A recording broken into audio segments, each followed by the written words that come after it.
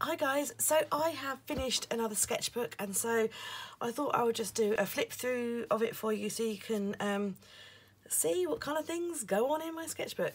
This is a Seawhite of Brighton, um, it's A4 160 GSM, um, all media acid free paper, 50 sheets. I really, really, really enjoy using this sketchbook. It brings me a lot of joy. I love the paper totally recommend it.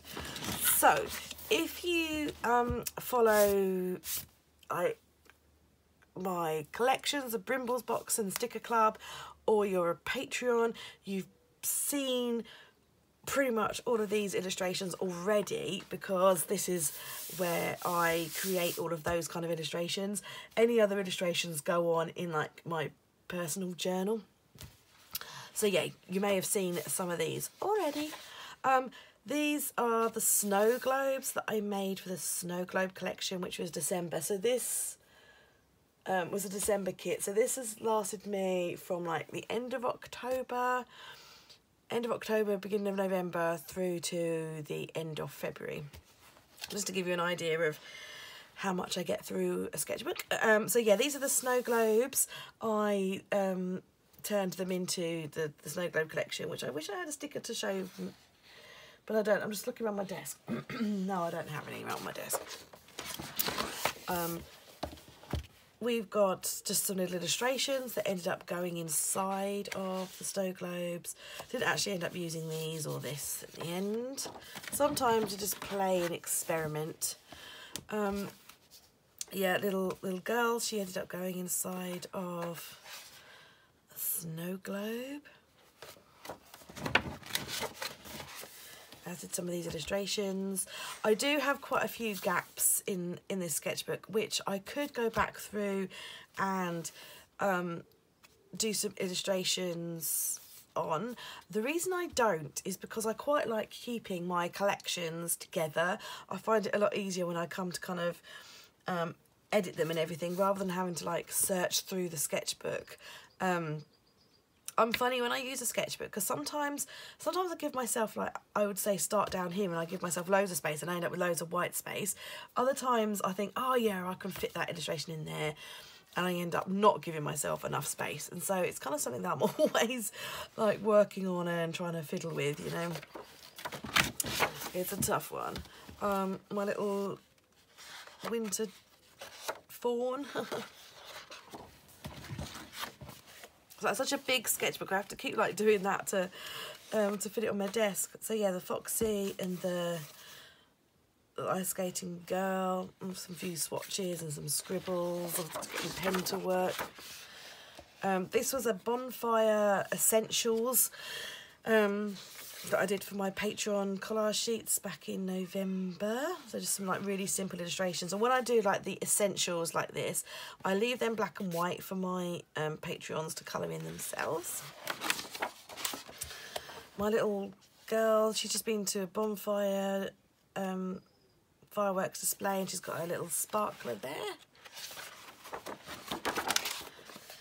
These I started to take part in the oh, what's it called? What's it called? Was it the Fairy Tale Week? I think it was called Fairy Tale Week. Or, no, Folk Tale Week. Folk Tale Week. Um, the prompts were forest, magic, witch, ghost, insect, mirror, animal. I only did the first three because I kind of run out of steam. I, the ghost one kind of vexed me a bit. I wasn't really sure what to do for ghost. And then I just kind of gave up. um, this became um, part of the Snow Globe collection, um, this moony landscape. Um, that's what I used as the background. I um, It's black and white. I didn't go, go over it with um, some nail varnish, which is what's the glittery glittery thing is. Um, um, it's painted in, in grayscale, so then I in Photoshop I made it a brush, and then I changed the colour of it and used the brush to make the background for my snow globes. Playing around with trees. Um, yeah, so this was my forest, um, for the forest prompt with Little Red Riding Hood. Um, this is actually the most recent thing, trying to fill some space. Um, these are going to be for my March Patreon collage sheets. Um, another moon there. Love watercolouring moons. Um, this was my first attempt. I did a video on Patreon, um, tutorial on Patreon. This was my first attempt. I wasn't happy with it. It didn't look how I wanted it to look. So I did it again. but it's in there, you know. So there it is again. You can see that shimmery shimmeriness. That's actually all glittery, glittery, glittery nail varnish. Um, and I do have another one of those, which I will show you in my journal. This is my this is my journal. Um, I will show you it so you can see if I can find it. Can never seem to find these things quickly when you want them on a video, which is annoying. My Patreons have seen my journal, but I kind of been saving Why can't I find it? Why can't I find it? Here we go. Here we go. There you go. That's the unicorn in my journal. That's the witch that I was talking about that I did for that prompt as well. And there's that. So, and um, yeah. I was going to show you another page, but I had a photo of my daughter on it then. Um, so yeah, that's the unicorn. Um, okay, on to Christmas themed collage sheet, Patreon um, elements. So working on those, like a little wintry character. Not everything that you see um, makes it, by the way. I cherry pick what I am happy with and what I like. Um, I loved this little marshmallow people in the in the hot chocolate. This was um, redo of Winston. If you don't know, Winston is my little mousy character. Um, I brought Winston back for December. He was going to be decorating his tree. I wasn't happy with his sketch, so I abandoned it. This is one of those examples where I didn't give myself enough room. I started the head down down too low, so then I didn't have enough room for the body. The body became really squat. Um, so we redid him, um, and there he is. Um, I just leave myself some notes, like I mucked up and I drew a line there for his inner ear, but it shouldn't have been an inner ear, that should have been an outer ear. So I just left myself a little note saying, remove the inner line. And I went wonky. Um, just there, that line. And so I left myself a note, delete this, you plonker. uh, North Pole and a Santa illustration that never went anywhere. So this now onto my sloth collection. Um, this was the um, the January collection. Um, now the reason these are black and white and the reason a lot of my illustrations are sometimes black and white is because sometimes like the Snow Globe collection that was all done with watercolour and um, yeah I watercoloured them before I photographed them and did all the did all the do. Um, these guys, however, they were um, coloured in in Photoshop. So sometimes I colour them in digitally, sometimes I, I watercolour them. Just depends on what the illustrations are and I guess kind of how I'm kind of how I'm feeling the direction of the stuff going. One day, one day I'd love to be able to buy an iPad and get Procreate and a pencil, an Apple Pencil, and be able to do these illustrations digitally, like straight on the iPad, because that would just save me so much extra work. You know, my my workflow, my process would just reduce dramatically. But that's a dream for one day in the future. And so yeah, more more sloths. Look at his big round belly. More sloths and sometimes I write little quotes down if they come to me um, for the kit, like slow life down, chill time, take it easy, get more sleep, hang out, take time to chill, chase goals, but take time for you. Um, yeah, like if, if, you know, something kind of comes to me, I'll jot it down. right, next we're moving on to my um, Alice in Alice in Plannerland, that's the one. My Alice in Plannerland kit.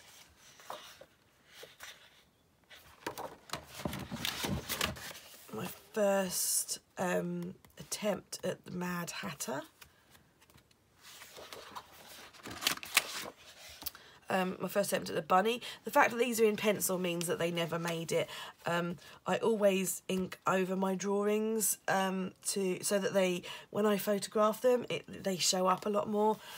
Um, and I can remove the white, the background easier, and make the background disappear, which is easier to do when you've got a big back, bold, bold black line. Um, so the fact they're in pencil means they never made it.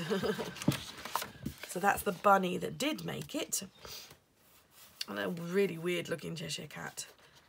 This was, the Alice in Plannerland was quite a um, requested theme in the Facebook group, but I actually found it quite difficult because Alice in Wonderland has just been done by so many different people. And there's two that really stick in your mind, like the Disney version and the Tim Burton version and I found it quite hard to try and do something that was different. Found that very tricky indeed.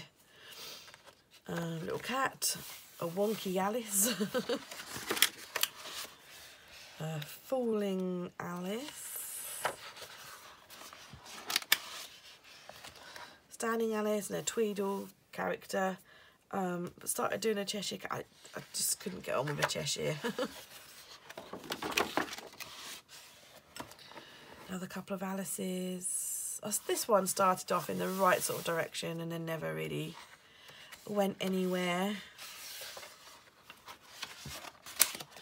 It's my illustrations for my pancake people. See those. And I'm going to just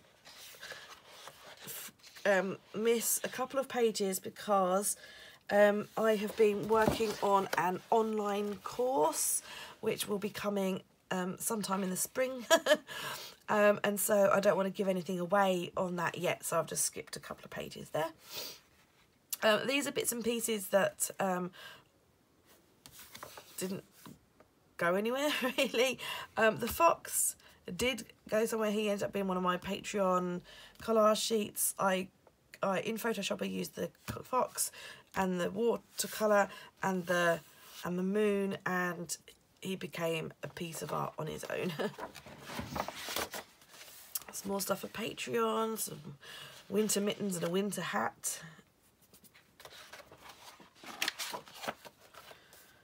Little deer. I did end up reworking this deer. This was for the um, Hello Spring collection, which is the March collection. And that's that that little deer reworked and inked and she was actually actually used. The sleeping one, and then this one, I, I did rework this one. Um, again, another example of where I started too low down um, in the page.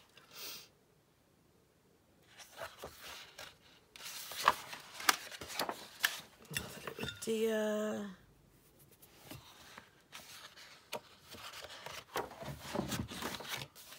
Another one. So all of these were coloured in in Photoshop. This one did make it, although as you can see I put make head bigger. I I mucked up the body versus the head. I don't know what happened there, but with the beauty of Photoshop, I was able to enlarge the head.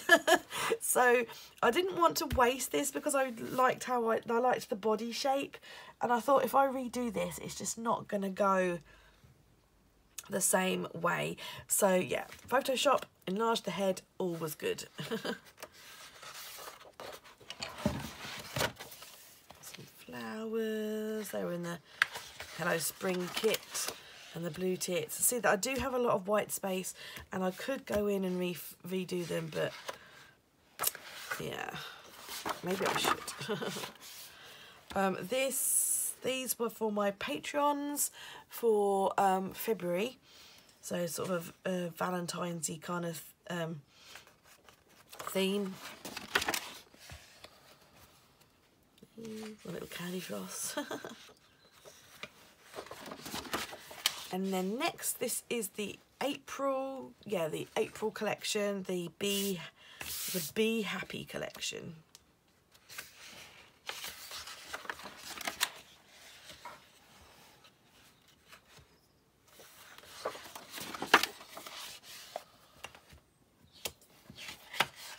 yeah so that's it guys that is um my completed recent completed sketchbook tour. I hope you enjoyed having a look at all the doodles and how they actually look what they actually look like before they ever become anything. Thanks for watching guys. Bye